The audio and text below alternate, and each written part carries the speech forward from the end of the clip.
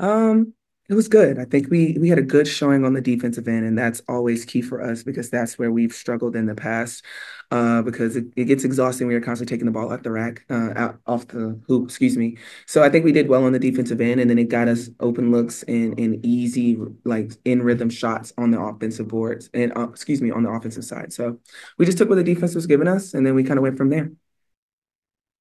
You guys were plus eleven on the glass too. Obviously, you had the, the huge rebounding game. How important is that going to be for you just as you guys try to chase another championship here?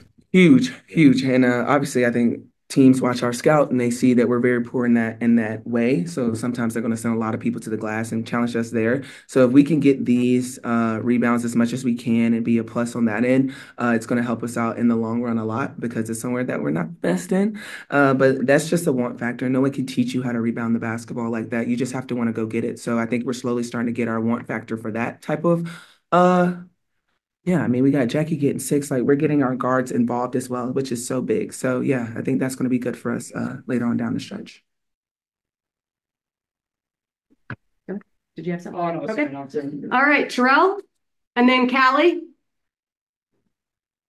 A'ja, at various points last season, we kind of talked to you about finding that zone, whether it was 20 point stretches, whether it was the 50 point game. And you said you were still waiting for that outer body experience. Just Yeah. considering with the way that this season has gone for you so far, are you still in search of one of those moments?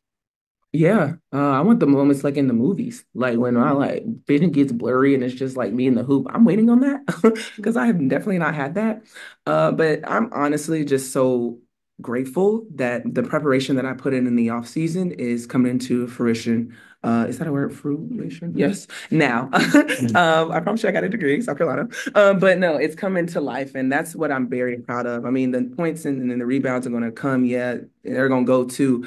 But am I doing what I need to do to help my teammates get a win? That's my biggest thing. How can I be productive on both sides of the basketball? So I don't think I've had my out of body experience yet, um, but uh, it'll be cool if I had one. Can't wait for that night. I know, right? That's what I'm just saying.